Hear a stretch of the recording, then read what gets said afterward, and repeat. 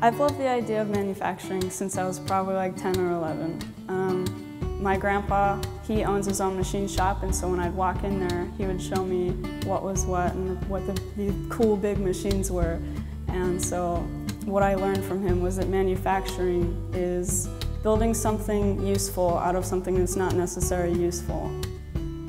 I chose Everett Community College because I live around here and it's easy to get here. My favorite thing about the manufacturing pre-employment program that I'm in is probably the instructors.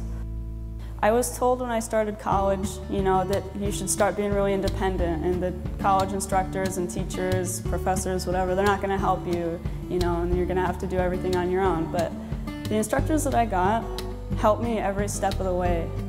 They made being in their class not only obviously knowledgeable and they taught me what they needed to teach me, but they made it really fun, which made it easy to learn for me. What I want out of my career is that I want to be happy and comfortable where I work.